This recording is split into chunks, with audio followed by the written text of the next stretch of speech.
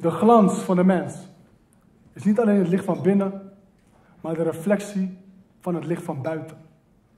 Je moet eerst schijnen voor je de reflectie kan gebruiken. Als jong kind had ik moeite om mijn weg te vinden in deze maatschappij. Met een Ghanese moeder die nauwelijks de taal sprak.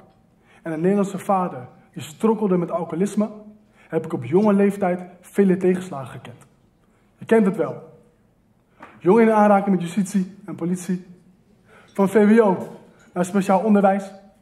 Van een warm en veilig thuis naar een blijf van mijn lijfhuis. Ik voelde me gefrustreerd, onbegrepen en eigenlijk heel eenzaam. Dit zorgde ervoor dat mijn moeder me helaas niet kon handelen en ik op 17-jarige leeftijd op straat kwam te staan. Ik was gedoemd om te mislukken. Gelukkig vond ik mijn passie, basketbal. Ik had een plek waar ik kon schijnen. Ik had mijn licht gevonden. Een plek waar mijn perspectief verbreed werd en ik mijn ervaring kon omzetten in kracht. Een plek waar rolmodellen en mentorschap mij gemaakt hebben tot de man die ik ben vandaag.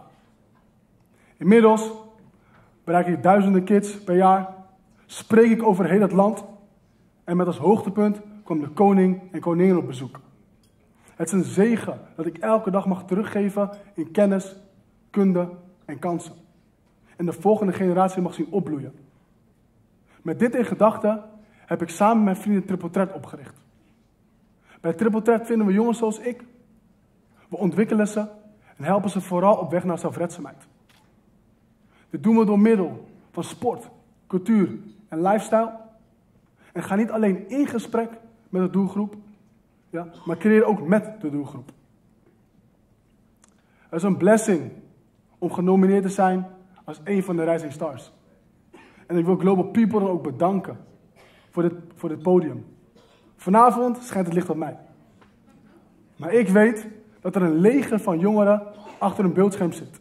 En ik hoop dan vandaag ook hun rolmodel te zijn. Dames en heren, vanavond heb ik mezelf kwetsbaar opgesteld. En ik hoop dan ook dat dankzij mijn verhaal jullie een gouden les hebben geleerd. Namelijk dat sturing niet het punt van vertrek jouw koers zal bepalen. Ik zal het herhalen.